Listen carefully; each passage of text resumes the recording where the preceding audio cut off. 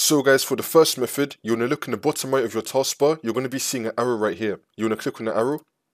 Now, if you see Steam right here, you want to right click on it and then click on exit Steam. It's now going to fully close out of Steam. Now, you just want to relaunch Steam again, see if that works for you. If that's still not working for the second method, you want to head over to search and type in VPN settings. Click on it. And then once you're on this, if you have any VPN connection that's currently active, you just want to remove it. See if that works for you.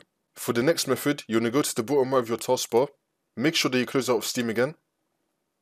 Once you close out of Steam, you're going to head over to search and type in percent local app data percentage sign. Click on it. And then once you're on this, you're going to scroll down until you find Steam. You want to click on it. Now you want to click on HTML cache. Now you want to click on the cache folder. And then click on cache data. You want to delete everything in this folder, so do Control A and then delete. Now you just want to open up Steam again, see if that works for you.